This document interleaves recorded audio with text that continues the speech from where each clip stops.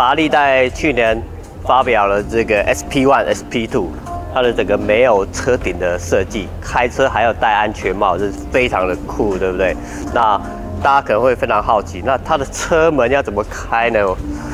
大家来看一下哦，它这个是有一个，这边里面有一个皮带，你把它拉起来，我再来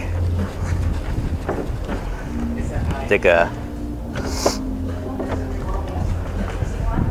Yes，哒啦，这个两片小小的车门开起来的时候非常酷，真的是太帅了。我觉得这一次活动当中是我第一次看到 SP One 跟 SP Two 哦，哇！我刚才看到实车哦，我都觉得它很多细节啊，可能是你从照片上面看不出来，尤其像光是这两个车门，哇！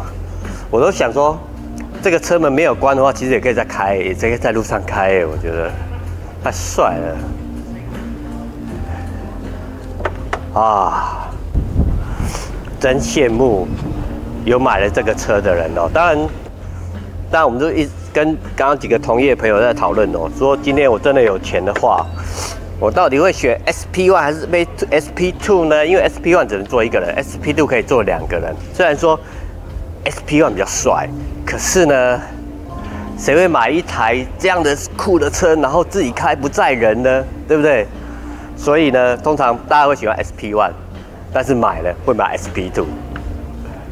是的。